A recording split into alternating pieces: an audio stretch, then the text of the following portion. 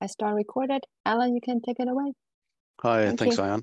Um, uh, my name's Alan Teixeira, and uh, I'd like to, to welcome everybody here uh, um, again for another interesting session. This one's going to be led by Paul Zarowin, um, and we're going to talk about uh, R&D accounting, earnings management, and investment efficiency. A little bit of housekeeping, if you can keep your, um, your mics on muted unless um, you're asking a question. Um, and it's be good to have your videos on so we can actually see you. And Paul's quite happy to take questions and comments throughout the presentation. So over to you, Paul. Okay, so uh, the basic idea here is when companies, in this case, are mandated to switch from expensing all their R&D to capitalizing. Now it's the D, only the D gets capitalized. Um, that has, we want to test, that has implications for how they manage earnings to meet benchmarks. And as I hope to convince you that they reduce their real cutting. Remember, there are a number of papers that show that when companies need to reach an earnings benchmark, such as analyst forecast or zero earnings target, they will cut back their R&D expenditures, their real investments, okay? And we want to look at what are the uh, ways that they can do that, okay? Or they can still manage earnings even though they cut back on their cutting, they reduce their cutting, okay? So what is the mechanism that they can manage earnings once they start capitalizing, or at least use R&D to manage earnings? And given that they change their uh, real investment behavior uh, by reducing their cutting, is that going to have an effect on their R&D investment efficiency? Okay, so that's the basic idea, all right? So there's the accounting rule change, the effect on earnings management behavior, and what are the real effects that follow from that? Okay, so that's the idea. Okay, so what's the background here? In 205, the UK switched from UK GAAP to IFRS. Okay, under UK GAAP, firms had the option of expensing or capitalizing. Notice I emphasize the word development expenditures. So on under all regimes, the R part, the research must be expensed. Okay, under UK GAAP, companies had a choice of capitalizing or expensing the D, assuming it meant cer- met certain conditions. Okay. Uh, but now under IFRS, they were mandated to capitalize the D that met those conditions. So that was a big, a big change. Okay.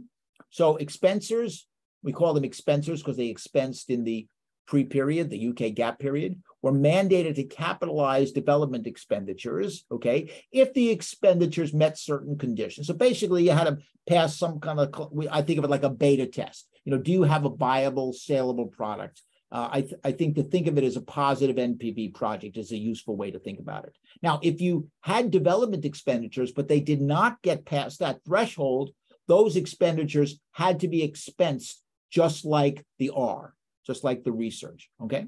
So we have two groups of firms that we want to look at.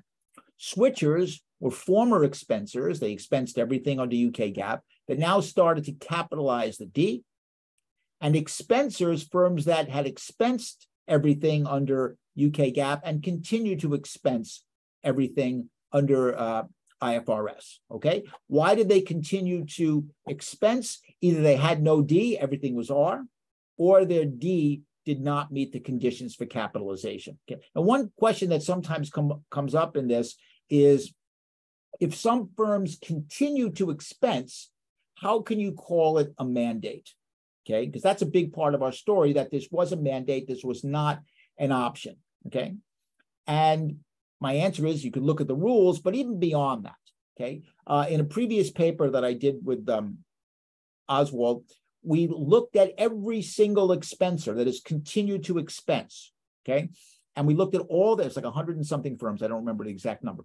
We looked at all their R&D footnotes and they talk about it and they say in so many, you know, or not so many words, we didn't meet the conditions. Our, our expenditures are, um, are too uh, conditional on, you know, what's going to happen. They're too volatile. We may not, uh, you know, may not get to that that point. Okay. So in their own language, they're very clear uh, on that. Uh, in addition, at the time of the mandate 205 to 206, uh, you get quite a number of firms switching. Okay.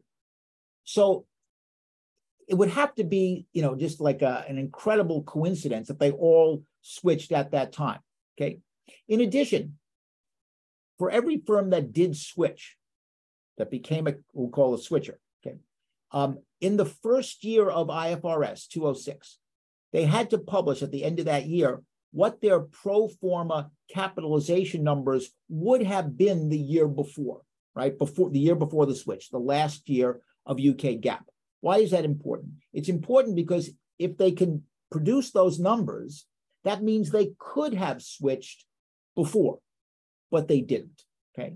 So we think there's a, a, a lot of evidence uh, that points to the fact that this was a mandate. Uh, it did have teeth. Enforcement was effective, and it was it was not an option. Okay. There was also a third group of firms, capitalizers, firms that even under UK GAAP had capitalized the D. Okay. Unfortunately, for, for these tests, there are too few of those. Uh, once you start uh, disaggregating uh, firms into various uh, earnings management buckets, you know, as you'll see, there are three buckets. Uh, there's just too few capitalizers to work with. Okay. And some of the cells, you actually have zero firms. Okay. Um, yes. Sudipta's got a question, I think. Yes. Hello. Hi there. Uh, so you hand up. Unmute yourself, Ben. Yeah, I'm unmuted now. So uh, just because companies say they don't meet the standards doesn't mean that they do not meet the standards. It could be cheap talk. So um, how do you actually confirm that they do not meet the standards? For example, Adobe is required to capitalize software under FAS 86, but yet has yet to capitalize anything under FAS 86. Yeah, so I, I can't prove that to you, but I can say that given that we did look at every single footnote for the firms that did not switch, okay, and they're explicit about it. Now, could they quote unquote lie? You know, as you said, talk. You know, that's always possible. I mean, I I can't prove that, but I think the weight of the evidence does argue for for a, a mandate with teeth. But you're right. I mean, uh, you know, it's it's possible that uh, something that's you know the in the gray area between R and D, uh, they could say, well, it's really R. You know, uh, so uh, you know, in terms of absolute proof, I, I could not give you that, but I but I do think there's a lot of evidence that that uh, it was a mandate with teeth. I I think we did everything we could do to to be convincing. Okay, so what are our? Uh, oh, our... Sorry, ben, Benjamin, do you want to do yes. while we're at the break? Thank you. Hey, Paul. So uh, along the same lines, and I, I understand and I even accept your answer, but just a little pushback. If I recall correctly, a, the requirement to capitalize one of the criteria is intent. And I think it was intent to finish the project or intent to sell it. So I'm, I'm just pointing out that if companies wanted to manipulate it, it is quite easy to say we're not sure, right? And it will be a legitimate thing. We don't know what the market would be when we finish the project. So I'm, I'm pointing out that I think may, maybe the fact that you went through the footnotes is, is, is helpful to show that companies do not use it, but but they have a very easy out. Okay. I, again, you know, companies have a lot of leeway under you know all GAAPs, right, including IFRS. And I'm sure that you're right that there is, you know, fudge room, so to speak. Okay. Uh, but I, again, I, I, I think that, you know, the UK is probably, you know, the one capital market that's considered close to the US in terms of, of uh, rigor and enforcement, et cetera. So, uh, you know, the fact that the switchers did switch at the time of the mandate and not earlier um, you know, we could debate this forever, and I I couldn't swear on a stack of Bibles that you know it is absolute, but I, but I think you know we did everything we could do to to show that. Oh yeah. Okay. Is is that is that okay, Ben? Okay. Okay. Uh, okay. So uh, what do we find? Hi, Paul. Yes. Well, I, I just have a clarifying question. Yes. May you share with us uh, what are the conditions uh, are needed oh, uh, in the to, to classify it as D. Yeah, uh, they're in those the, yeah. I don't remember them by heart. They're in the paper. I apologize. Uh, okay. Okay. Uh, but it essentially amounts to you know you pass this beta test and you've you know you've, uh, what Ben said you uh, you've got a product that is saleable. Okay. Uh, okay. So what do we find? we find that switchers reduce their probability of cutting R&D expenditures to meet benchmarks. We look at the usual benchmarks, but they did not reduce their probability of cutting R&D expense. Okay, so how could they cut their expense without cutting expenditures? Okay, we find that when they get into the bucket that they want to, uh, they need to cut back their expense to uh, manage their earnings above a threshold, they increase the percentage of expenditures that they capitalize. Okay. We also find that the switchers increase their investment efficiency. But here's an important point.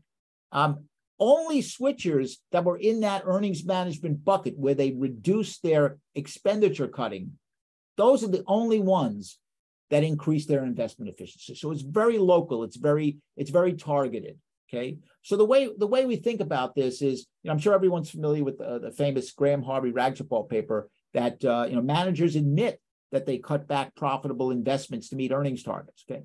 So if capitalization of the D enables firms to reduce that wasteful cutting, you know, then they would increase their investment efficiency. So that's the way we uh, that's the way we think about it. Okay. Um, so what's our contribution? Uh, so we link R&D expensing versus capitalization, the accounting method. So we link the accounting method to the type of earnings management, okay, reducing real expenditures or just expense, okay. Uh, we show that the earnings management tool that the capitalizers use as a percentage of cost capitalized, and we look at the economic consequences, i.e. focusing on investment efficiency um, with archival data. There are some papers that looked at this, um, such as the uh, uh, Stephen Terry and re related uh, stuff that uh, has been done recently uh, with simulations, uh, but we actually use archival data. So I think we're the only ones that kind of put that whole thing together. Okay, what's our motivation? Okay, very straightforward. Uh, when you expense, one-to-one -one effect of R&D expenditure cut on pre-tax earnings. So if you cut back a dollar of expenditure, you increase pre-tax earnings by a dollar. But when you capitalize, some fraction of those costs get capitalized, expenditures get capitalized. So there's less than a one to one effect. How much less, of course, depends on the percentage of cost that you capitalize. Okay. So in a capitalization regime, cutting back real expenditures can hurt firm value if they're positive NPV. That's the Graham Harvey Rajgopal story. Okay. Um, but it's not going to help you as much with your earnings management. Okay.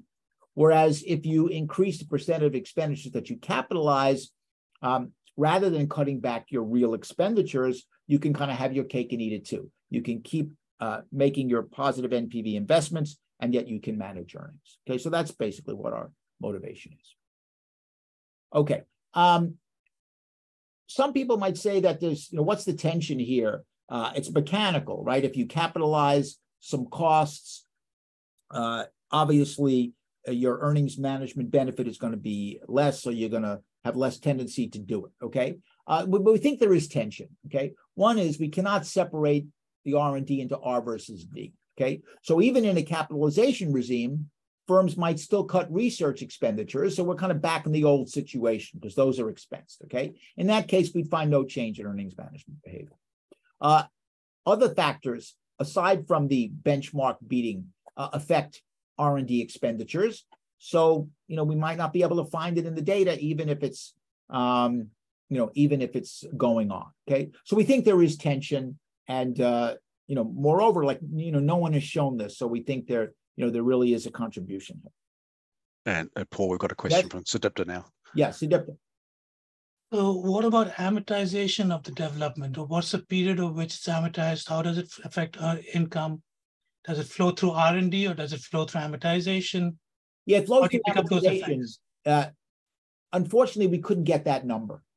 That's a good point. You could presumably they could you know lengthen the amortization schedule, let's say, uh, but we were not able to determine that. But that's a good point. We were not able to to, to find that out. Yeah, and uh, one of those things, Paul. The other thing is that the R and D is just one aggregate number in IFRS. They don't actually separate between current expenditure and the amortization component. It's just one one disclosed number. Yes, thank you. Um, so that would be great to be able to break that out, but you know, unfortunately. Okay. Yeah, and Ayang, and then Zach. Hi, Paul. Uh, I just kind of like follow up a question about those conditions. So like I think the the takeaway from the your results is that you think those are real earnings management regarding whether R&Ds are expense versus capitalizing. But I'm thinking about like those conditions required to be capitalized. It's kind of very subjective, really depending on managers' belief on whether they can probably predict future cash flows and whether the project will be successful. So I'm thinking about whether it's actually a simpler story. It's, it's not manipulating earnings. It, they just signaling the type of the projects they have, which is not observable to the outsiders. And then the ones they signal will be successful, they continue investing, but the ones they have lower likelihood of reaching the successful outcome, they expense. So it's just consistent with what they believe about the type of the project they are working on. Yeah, so that's a good point. So if if uh, if firms wanted to signal that they have projects that are far along, okay, that mm. where the D meets the capitalization conditions, okay, they, they could have done that in the UK GAAP period, okay. Now, in my previous paper, we find evidence that, or at least we conclude that uh, capitalization was a negative signal because the firms that capitalized in the UK GAAP regime tended to be weaker financially. Okay. So maybe they needed the expense deferral. Okay. Whereas if you if you expensed everything, you're showing your financial strength that you didn't need it. Okay. So that's one that's one argument. I think another argument, and uh, I'm looking at this in some research now, is that uh, maybe companies didn't want to reveal that they had projects further along. Mm-hmm. Right? That, uh, in a sense, you know, proprietary information, basically.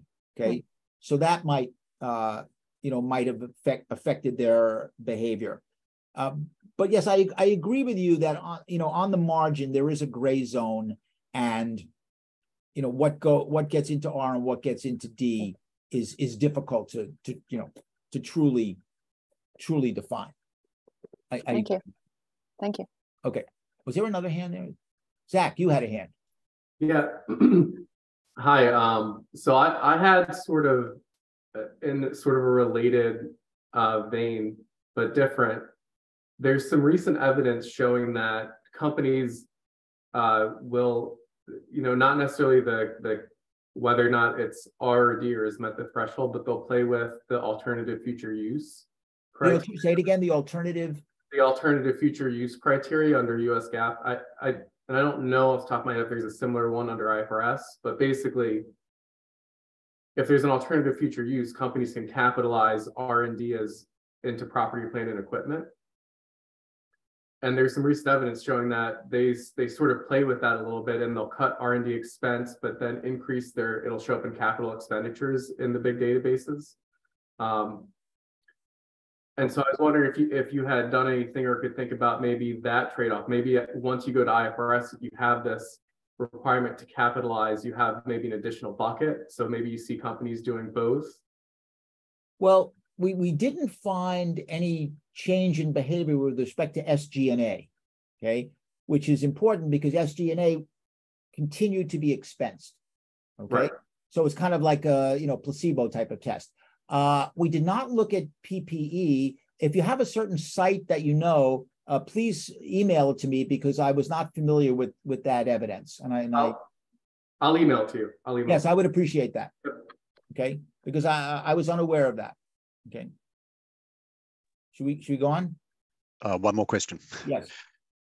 So hi Paul. Um, I was wondering how many firms you have that are doing M&As during your sample period because according to the 141R, and I think in, uh, in the IFRS, we have the number three, um, if you have an M&A, then you can capitalize acquired in process R&D.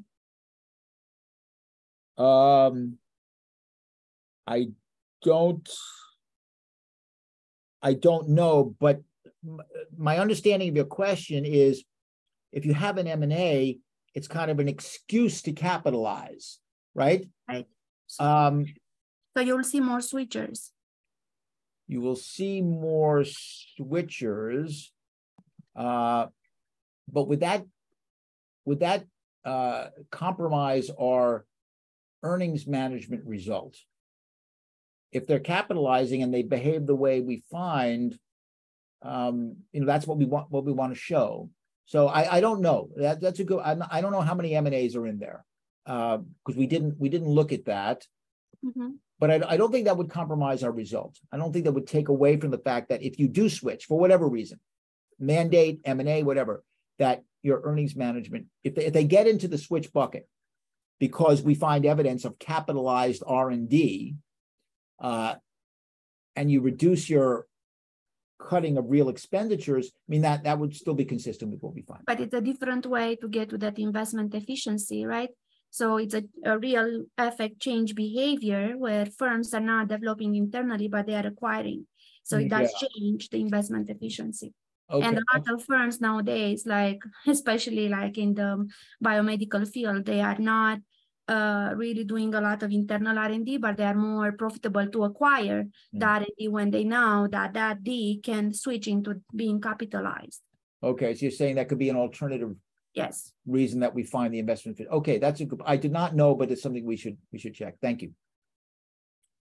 Okay, uh, so we think there's tension. Okay, okay. So what do we do? Uh, we're going to compare the benchmark beating behavior of switchers versus expensors, pre versus post IFRS. Um, so we formed firms, firms into three earnings management buckets. This has you know been done a number of times in the literature. So uh, group one are firms, for example, if we use the uh, zero earnings benchmark, uh, EBRD stands for earnings before R&D. Um, group one are firms that are doing so poorly that even if they cut back their R&D, they uh, would not have profits. Uh, group three are performing so well they could increase or at least maintain their R&D expenditure level to the previous year, and they would still. I'm sorry, uh, at yeah what it was before, and they would still have profits. So group two is the interesting group. The only way they could show uh, positive earnings is to cut back their R&D expenditures. Okay. Okay, so we're going to focus on group two because they would show losses if they maintain their expenditures at last year's level, but they can show profits by cutting back. We also have benchmarks to avoid earnings decreases and meet analyst forecasts. As I pointed out before, once you start dividing firms into three buckets, uh, you have too few capitalizers to analyze, so we don't look at them. Okay, so our preliminary evidence. Um, switchers and expensors, no difference in R&D cut probability pre-IFRS. Pre Okay, uh, but switchers have lower R&D cut probability under IFRS. Okay, so that's uh, basically down here. If you look at UK GAAP, okay, we see there's no difference. Um, if you can see my uh, scroll, and then difference in the direction we would think of uh, under IFRS. But again, this is all switchers and uh, expensors together. We haven't bucketed them yet, but at least it's consistent. Okay. Okay, so our first hypothesis, firms in group two are no more likely to cut R&D expenditures than firms in group one or three. Okay, our alternative, expenses in group two are more likely to cut R&D expenditures than uh, expenditures in group one or three. Uh, this is not our main hypothesis, just to replicate prior research with US data, such as um, uh, Bushee and uh, Baber et al. Okay. Um, so actually, let me just uh, let me just go to the table. So this is table five, looking at the earnings level uh, benchmark. So uh, focusing on just the cross section here, so switchers, you look at the different groups, much more likely to cut R&D expenditures under UK GAAP than either group two or three. Um, uh, let's see. Uh, but we see that if you look at the vertical probability here, uh, this goes uh, down significantly for group two, okay, once they switch to uh, IFRS. We look at expensors, um, a little bit weaker, but uh, they still cut back in, in the uh, earnings management uh, bucket, group two, okay, um, but no change pre post UK GAAP to IFRS. Okay, uh, the one area we didn't we did not find uh, much results for the earnings change benchmark.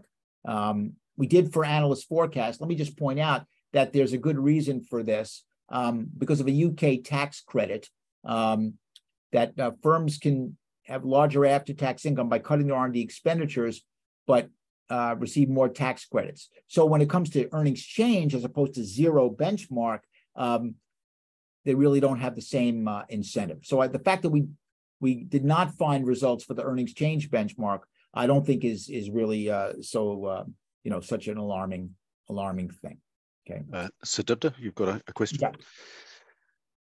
So this uh, backing out method that you're using from Bushee and others has been shown to be severely biased. There's a paper by Elgers, Pfeiffer, and Porter in JE in 2003, another paper by Lemon Lustgarten and RQFA in 2002. And both papers show with simulations that your coefficients are very biased in this approach. When you so, say biased, these are just probabilities here. Those would be biased?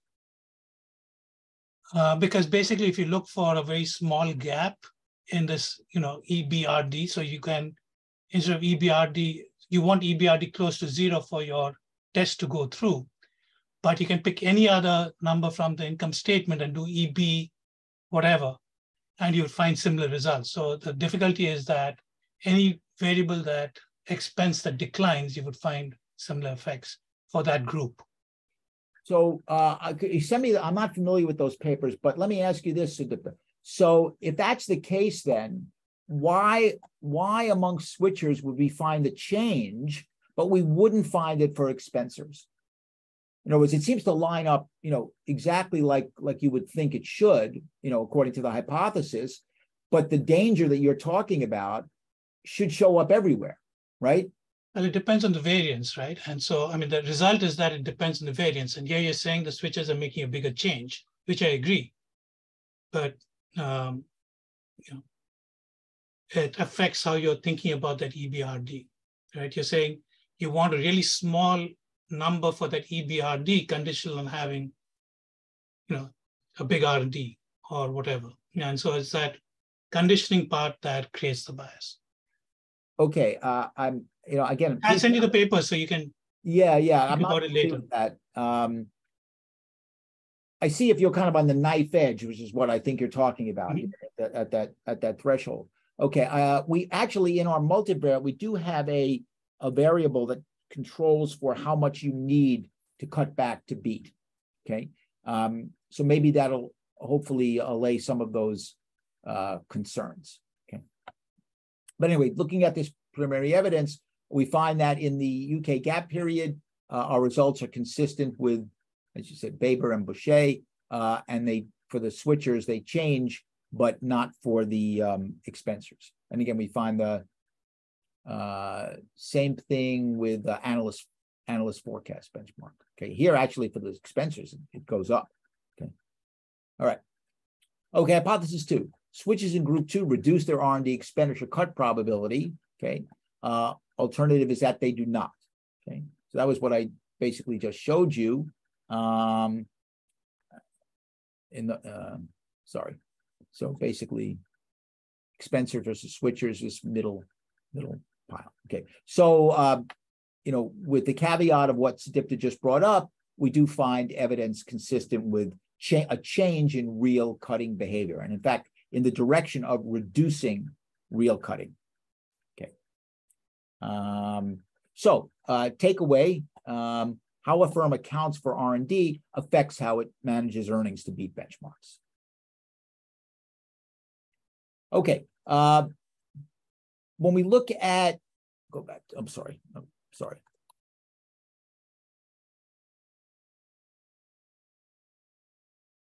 Um, expenditure cut.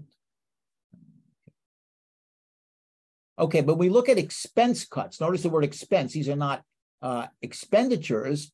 Um, we find that there is no reduction for group two, or certainly you know far from statistically uh, significant. Okay, I didn't repeat the uh, the expensors here because by definition, expensing and cutting real expenditures the same thing for expenses. So this table is only for the switchers. Okay, and and the takeaway that you see here is that they don't reduce their expense cutting, although we saw that they reduce their expenditure cutting. Okay, so um, how do they do that? But first, to trying to get at some of the things that uh, Sudipta brought up, uh, we didn't just use the uh, uh, probability of cuts uh, univariate. We also looked at a multivariate model, which we got from Berger and Bushee, and um, you know all the usual things. Uh, basically, the results confirm our uh, our univariate results. Um, let me just point out this uh, this distance variable. This is how much you have to cut to meet the benchmark. Okay, and it seems to it seems to matter. Okay, that uh, you your probability of cutting uh, reduced if you have to cut too far. I don't know if that's consistent with what you were saying before, um, uh, Sudipta. But anyway, I'll have to read those papers because I was not familiar with that. Um, okay, we did a lot of tests for endogeneity. We, we personally don't believe uh, identification is an issue here. Uh, as I argued strongly before about the mandate itself, although I do recognize there's some problems there. But just in case uh, there were problems with that and, and uh, identification is an issue, we looked at a bunch of things. We did a bunch of placebo tests where we changed the switch date. So both the pre and the post period are either totally under UK GAAP or totally under IFRS. And we found no results in that case. So uh, you know, I think that's powerful. Um, uh, no change in pre to post and uh, let's see R and D. Oh, yeah, that was table eight. So when we switch the date, we find nothing. We looked at parallel trends; they don't seem to cut uh, to change their cutting behavior uh, in the years before IFRS. Um, uh, so you know, the parallel trends works for us. I mentioned SG&A before. Um, SG&A expenditure cutting behavior does not change, okay, from pre to post, which is uh, you know important because SG&A continued to be expensed, so we would not expect a change. So all of these placebo tests, uh, you know, I think are consistent with endogeneity not being a problem and supporting the causal interpretation that you know when the mandate came, companies had to switch their uh, accounting method, and uh, that caused them to switch their earnings management behavior. Okay. Young, I think you've got a question. Yes. Hi, Paul. Yes. I, I feel like so far, like it's quite convincing that uh, once it's capitalizing, then they don't uh, cut R and D as much, right? Uh, in line expenditures, with expenditures, yes. expenditure, expenditures, uh, cash spending. Yeah. So uh, I was wondering that you cite uh, two kind of structural estimation papers by Stephen Terry, and Stephen Terry's kind of dissertation that's uh, from 2015 is forthcoming uh, from Econometrica.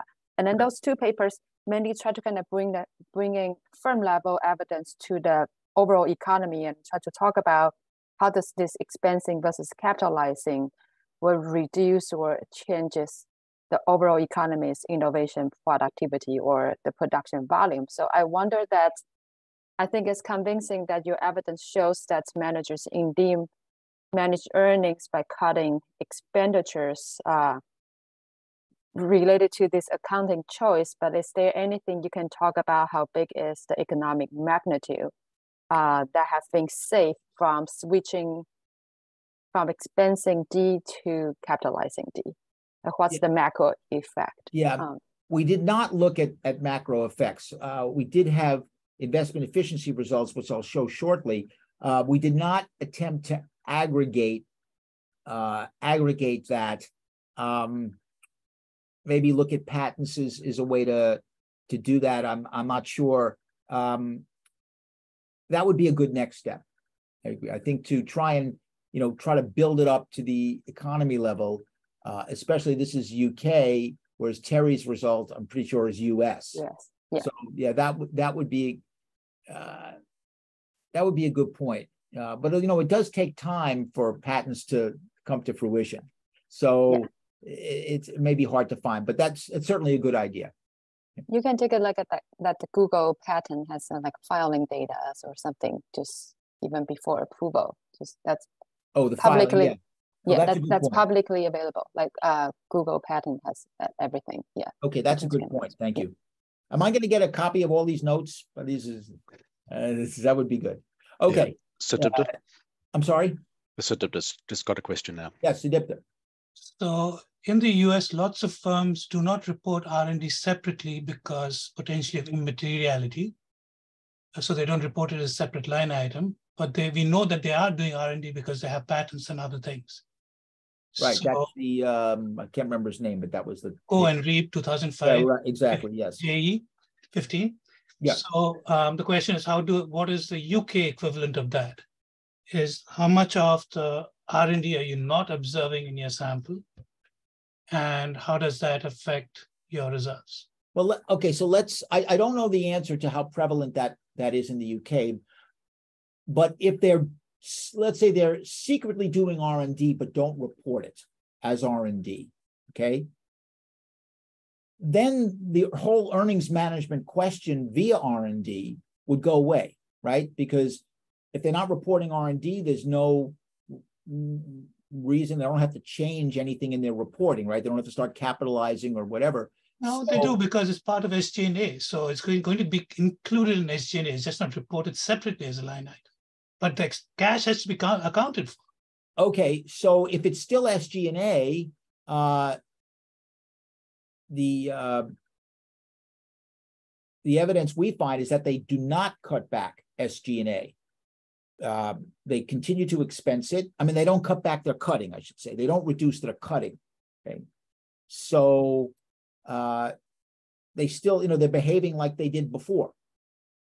Yeah, So- so I mean, that's a separate point that SG&A includes R&D. So I wasn't sure whether you adjusted the SG&A for R&D. I'm sorry, say it again? The SGA often includes the R&D. Right, so let's. So did you that's true. remove that or did you not remove that? No, we did, did not. we did. SG&A, we just took the line item from the financial statements, okay? If, but let me ask you something, if there is R and D buried in that number, okay?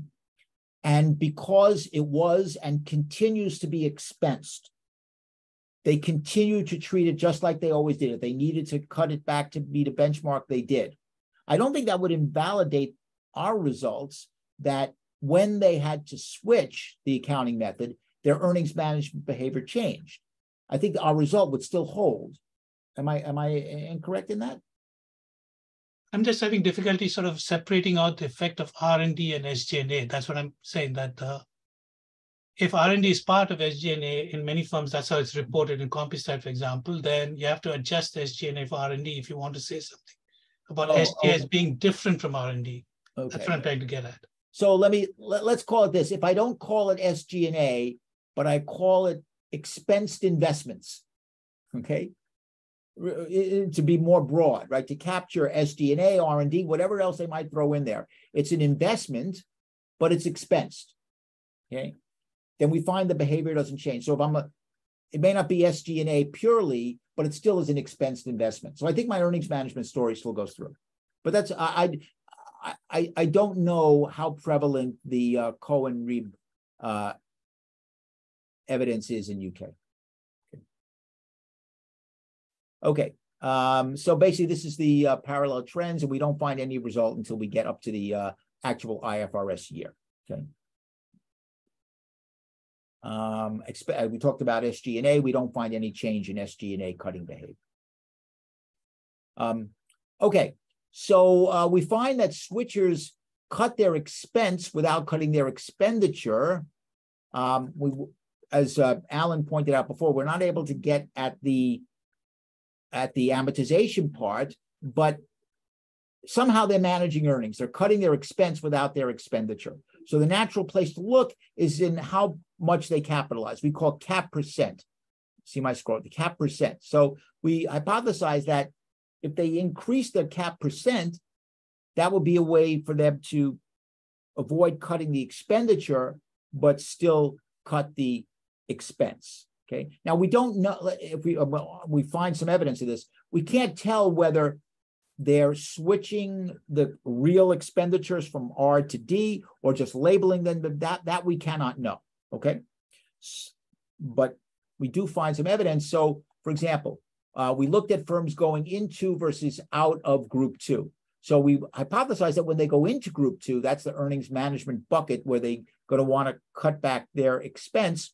Um, they increase their capitalization percentage um, but they when they uh, go out of group two, uh, it's much less. So again, for the two main benchmarks, the level and the analyst forecast, we find significant results in the direction that we would have forecast. Uh, we also looked at just a raw change in capital expenditures. Do you go up or down as opposed to the magnitude? And we find some results of that also. Okay. Um, so it seems to be that one way that the capitalizers can uh, manage earnings without, I'm sorry, manage their expense without managing their expenditures is to increase the percentage of costs that they capitalize. So, Paul, okay. in that first panel there, is that last column supposed to be a difference because it doesn't seem to be a difference? I'm no, this is uh, this is the uh, alpha level. This is the alpha level. Okay. Sorry about that. I said yeah. It's not. It's not one one two minus O two. Okay. Uh, okay. So most importantly, what are the economic consequences? Uh, there's a lot of, I should say, discussion as opposed to evidence that real earnings management is more costly to the firm than accrual earnings management.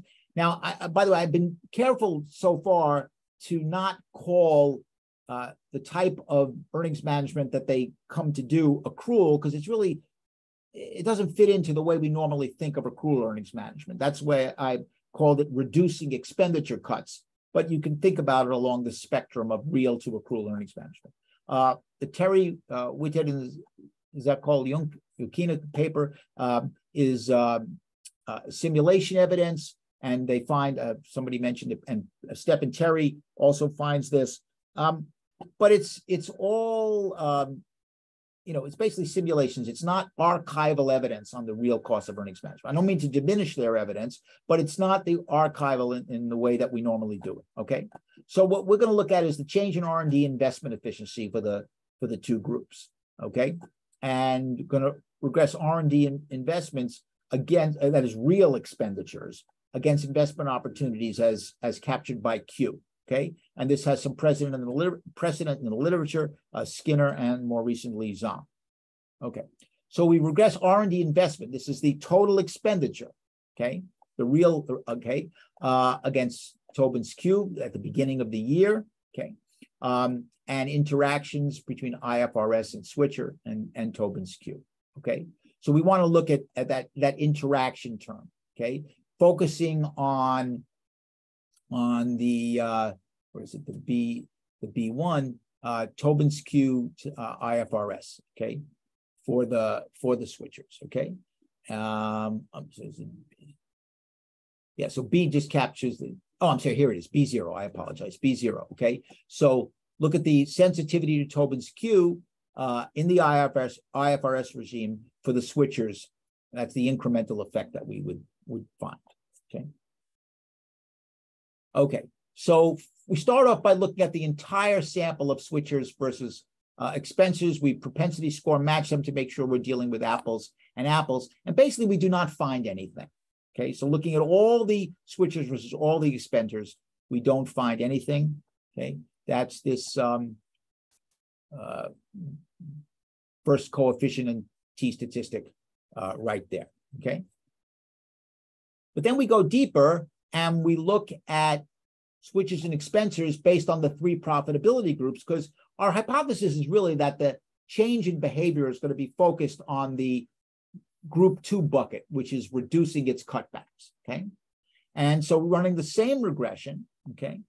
Um, as you see here, this is for the earnings level benchmark. We find it in group two. We don't find it in group one or three. Uh, again, the change we change benchmark, as I pointed out before, we don't find anything. If we look at the analyst forecast benchmark again, we find a similar result. So we find it in the uh, bucket where we would expect to find it or ho hope to find it uh, based on the change in earnings management behavior, but not in the other buckets. Okay. Um, in terms of magnitude, uh, we think it's economically important. Uh, our sample results, the typical group two switch has a Tobin's Q of about two. So if we look at the coefficients there, uh, we find an increased investment of about 0.05 to 0.06, which we think is reasonable given uh, mean of, of 1.5. So it's about a third approximately. Okay, uh, what's the mechanism? That's a, always a big question. Okay. Uh, the recent paper by uh, Roychowdhury, uh, and Verdi mentions a number of mechanisms which all have to do, or since they all have to do with either uh, reducing cost of capital or learning behavior. Um, we don't take a stand on this. Uh, and the reason we don't is uh, all the switchers would have been subject to this kind of learning behavior or reduced cost of capital because they're all disclosing more information. When you capitalize, you're disclosing uh, the not just your expenditure, which you always did, but you're disclosing the percentage of the cost of cost that you capitalize. You're disclosing the amount of your R&D assets. So all switchers, regardless of which uh, bucket they fall into, would have an increased amount of information, both for internal learning and for you know external um, uh, information that could change the cost of capital. Okay, but we only find the efficiency gains in group two. Okay, so we think that this is uh, evidence that the switches that were previously underinvesting, and it isn't the new information, but the change in investment behavior. So this really gets back to the um, um, uh, uh, Rajgopal um, uh, uh, Harvey, uh, Graham Harvey Rajgopal paper, where managers admit that they reduce uh, positive NPV investments on the margin to beat earnings targets. Okay, um, and we think that that's the you know that's where that's the mechanism going on. It's not any internal learning or more information provided to the market because all of those effects, internal, inf- more information would apply to all switchers, but we only find it in the group two bucket. Uh, we did some tests for endogeneity here where we changed the switch date to either two years earlier, so both the pre and the post period were under UK GAAP, or to two years later, so both the pre and the post period were under IFRS. Again, we find we find no uh, no evidence of uh, improved investment efficiency. So we think that um, you know it's it's a real causal effect. Um, yes, question. Got... Hello, Hi, Paul. Yes. Uh, probably my last question. Yes. So I've been thinking is that uh, before the mandate, they do have the option to capitalize. Yes. And correct. exposed after the mandate, you show that those are actually positive NPV projects increasing the investment efficiency. Yes. So my question is, we, usually we assume managers have superior information about those projects than outsiders. What are the frictions preventing them from choosing capitalization before the regime? I think there are two things. Okay. Yeah. In in my previous paper, we argued that capitalization was a negative signal about profitability. Okay. Because the firms that capitalize, this is my RAST paper a couple years ago, firms that capitalize seem to be economically weaker. Okay. Mm-hmm. So because and, and and it makes sense. They need the expense deferral to improve their earnings. Okay, so I think that's one part of it. That that once you have to, uh, once it's a mandate to capitalize, there's no signal anymore. Okay, I think that's one thing. I think the second thing, and uh, I have, I'm starting to do some work on this now, but I don't have strong evidence yet, is that uh, maybe that there are you know, there are proprietary costs involved with revealing that your projects are far along. Okay, and they and they don't want to uh, they don't want to reveal that. Okay, obviously once they're forced to, they're they're forced to.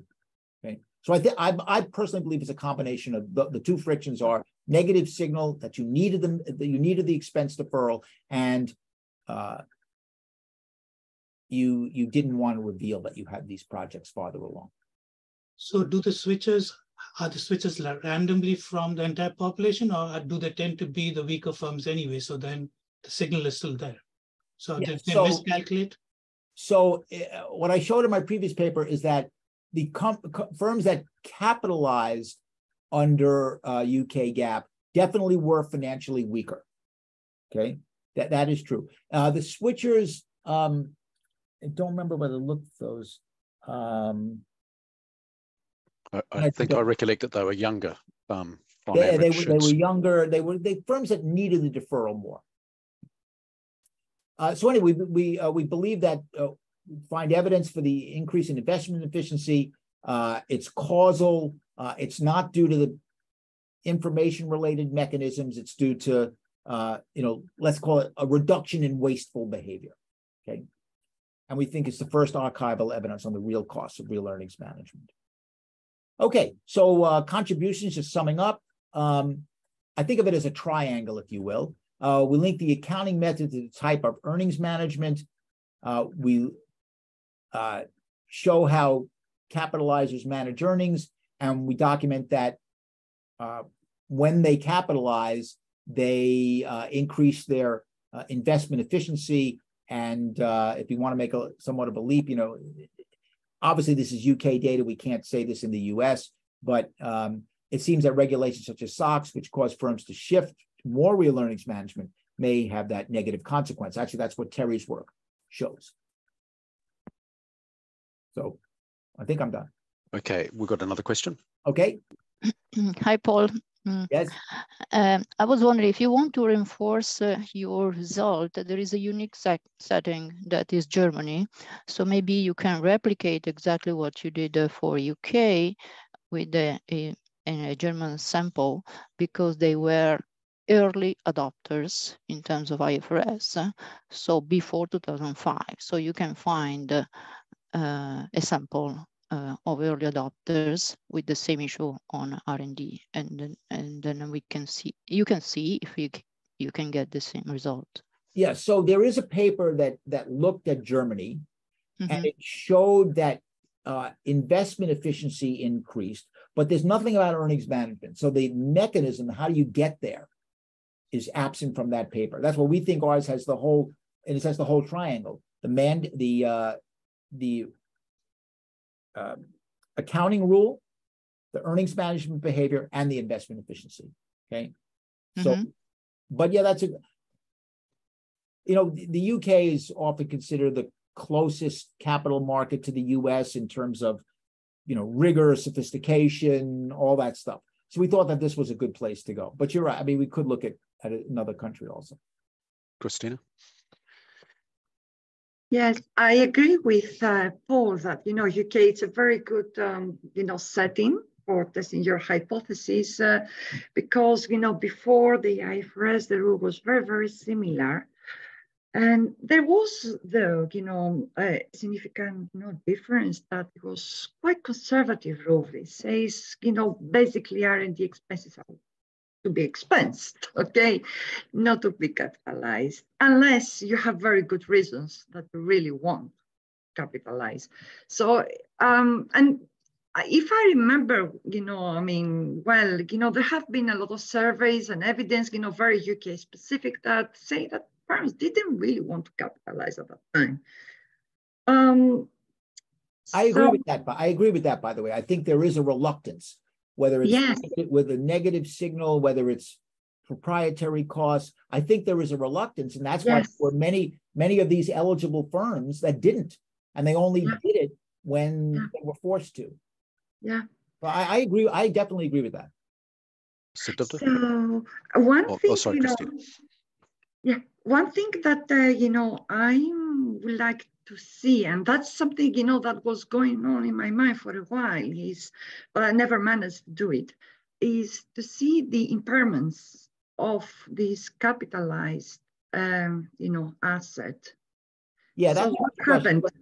We, uh, the question is like okay so if you claim that it increases investment efficiency i mean are we sure this is really good money good investments I mean, if they're not good investments, then you know we're going to see more impairments after that coming. You know, in being part of the three, four years, it's like the goodwill story. I mean, you know, some point, you know, we have put a lot of goodwill uh, on our balance sheets, and then of course here comes impairments. Well, I, I looked at that uh, in the past, and there are there aren't many impairments. All right. Okay. There yes. Very, never... very few. Very. Yeah very I, I think the reason is because in order to capitalize, you do have to get past a certain stage. Yeah. So you know, it, I know. It's not like PPE where everything gets capitalized. You have to be past a certain stage. So yeah. you're only going to get to that point if you've, you know, you're reasonably certain. Mm. But but uh, again, I did look at that. There's very few. Okay, then good. You know, and maybe that's kind of being supportive evidence. Like you know, I mean, you know, you capitalize it, it stays there, it gives us benefits, it doesn't get impaired, it's good money. it's good investment. Uh, I like to think so. It, it, may well be that the threshold is very high in IAS 38. There, there, are seven criteria you need to meet. So it, you have, it's, for example, if you're in the pharma sector, the point at which most companies in Europe will recognize is that when they get approval. So it's um it's very late in the process before they start having any D. It's interesting you say that, Alan, because when we looked at all those footnotes in a previous paper, it was pharma which had firms that that continue to expense, which is consistent with what you just said. Yeah. Yeah. Uh, so can I just another reason I just want to jump in since before we move to a different topic with goodwill, that's an indefinite lived asset. And so that's one of the reasons why those balances balloon is because you're not amortizing them over time. So in addition to less being capitalized, it's also being amortized and it has a way to get off the books naturally without needing an impairment. Yeah. So, so uh, the UK is also unique in that it allows brand capitalization, and Ken has been working on this for 40 years now. So, uh, um, so uh, and Karl Muller has a paper, I think in JE in 2002 or so, where he looks at brand capitalization in the UK. So have you looked at whether the firms that are capitalizing R&D are also changing their brand capitalization? The what, what capitalization is it? Brands, brands, advertising expense. So you can uh, capitalize no, SG&A in the UK, I, even though you can't in the US. So there's another difference there that Okay. Assuming that SG&A accounting is the same as in the US, but it's not. Uh, did that change from UK GAAP to IFRS? No, or did it stay the same?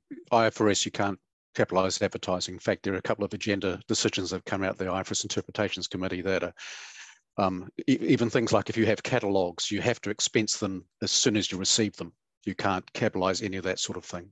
So you can capitalize a brand on acquisition, so that's back to the M&A type things. You can bring those in, but but that's acquired as opposed to self-generated. So do I do I understand correctly that that from UK GAAP to IFRS went the other way from you could capitalize and now you can't? Well, Ken is the expert here, so I'm going to defer to him. But okay, I I uh, if again if there's a paper you said it was a JAE or TAR, uh, I, I I do not know that. I'm sorry, my I'm very poorly read. Um, but uh, Ken has written many papers on this, so ask Ken. Okay. All right. Thank you. Ken. Uh, yeah, I don't have anything to what you've added to it. It's um, it, it, did change after IFRS. It was um, I'm not. It was like a kind of a fashion almost for a while, um, pushed by a number of firms and one consulting firm. But I haven't updated that work from all those years ago. So it's still being cited, Ken. SIPTA is still is still citing your work. 20 years later. So that's scary, isn't it? uh, are there any closing remarks or anything, or I'm not sure what's. Oh, I thought I sent you a closing remark slide. Oh, yes, yes, yes, I did. Hold on. yes, here it is. Ah, here it is. Yes. So, closing remarks. Uh, this wonderful uh, ADP will continue. Um, and I think it's really, you know, greatly focused on true accounting, um, accounting measurement and methodology. So uh, please, uh, you have three months, no, actually three, three and a half months to get your papers ready. I hope to have another paper for you, Ayung, okay? And Steve. Um, and here's the, uh, Ayung is easily reached at her Georgetown email. You can see that right here. So uh, please, you know, all interesting.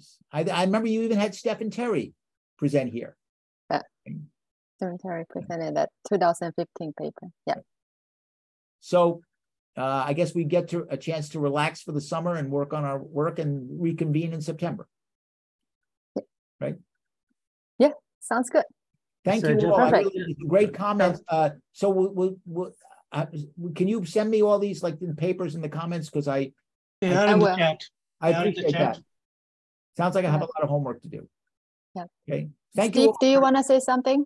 I'm sorry. This is our. Yeah. Yes, I just want to say something as yeah. we close. This is the last, uh, the last uh, ADP for the year, right? So yeah, um, we have to thank A Young for all the fabulous work she does. It she does she does everything, uh, and she's been wonderful. Uh, so we thank you very much, A Young, for the effort you put into this. this is this is your uh, this is due to you, due to what you have done, and we thank you very much. Yeah. Thank you. Thank you, Steve, and thank you all the presenters. Many of you have presented uh, here before, and we look forward to receiving your new manuscript. You still, like Paul said, you still have three and a half months. Yeah. uh, all right. Uh, I'm gonna stop recording and uh,